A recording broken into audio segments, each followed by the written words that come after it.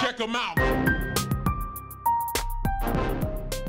Hey, it's that time again. I'm Pastor Matu, and I have an exciting word to share with the high school ministry here at the Source FCBC.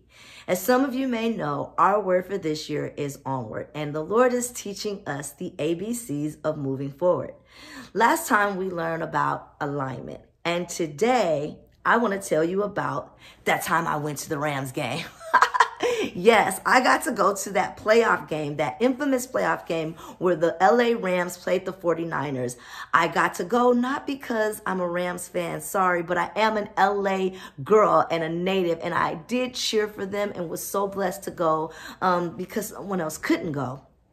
Point of the story is when I went, I learned that when you are a Rams fan, or even if you're not a Rams fan and you go to the SoFi Stadium, they have a saying. And the saying is this whose house? And then the people call it Rams house.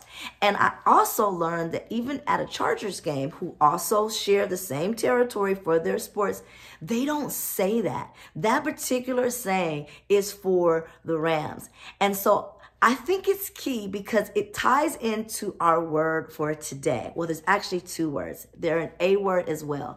And that's the word acknowledge. It is so important to acknowledge the Lord our God. Now, where do I get that connection between whose house, Ram's house, and God? Well, because on Sundays, and we meet each first and third Sunday now in the living room, we have an opportunity to come together to whose house?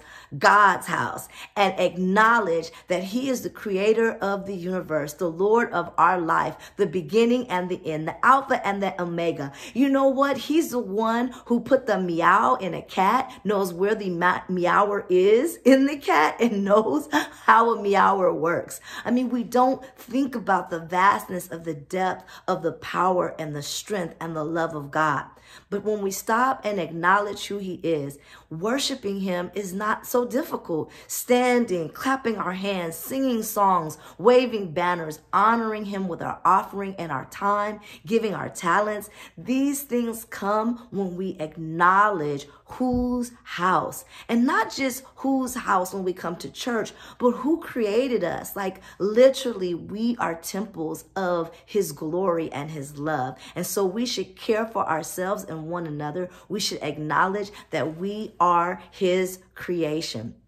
The other thing that I kind of learned at this game is um, it's important to appreciate. Like i i love football and while i'm not a rams fan i, I have to get that on record because the kids you guys will get me because you know i switched my teams um, recently. But uh, the story is um, i can appreciate the two teams that made it to the super bowl you know? Um, and soon we'll see who's going to be victorious. But with those teams it's not like they weren't playing lots of other great teams all year. You know what I mean? So it doesn't matter if you're a Steelers fan or a Cowboys fan, Kansas City fan, or or or a Raiders fan or a Rams fan.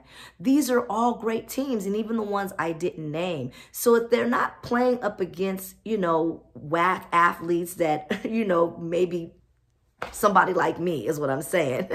they are playing against the best of the best. And so whoever wins will have basically the, the title for the NFL, but only for a year. And then it starts all over again. And what we can appreciate is that God is the King of Kings and the Lord of Lords all the time, throughout all time, and into eternity. And so we can look back at that passage that I talked about last time Proverbs 3 5. Trust in the Lord with all of your heart and lean not to your own understanding. Acknowledge Acknowledge him in all your ways, and he will make straight your paths. So, as we're moving forward, we want to stay aligned with the Most High God. We want to acknowledge all that he's doing, all that he's done, and let that inform our worship. And then we want to appreciate who he is, that he's never lost. We have the victory because of him. His banner over us is love, and he has raised up a standard so that when the enemy tries to come against us, we're good. So let's appreciate our God. Let's acknowledge our God. Let's be aligned with our God and let's go onward into all that our God has for us in 2022 and beyond. I'm Pastor Matu. It is such a pleasure to share these nuggets with you each week. I pray and hope that you can come and join us in person. Um, first and third Sundays, 9 30 a.m. We love you and we're praying for you. Check them out.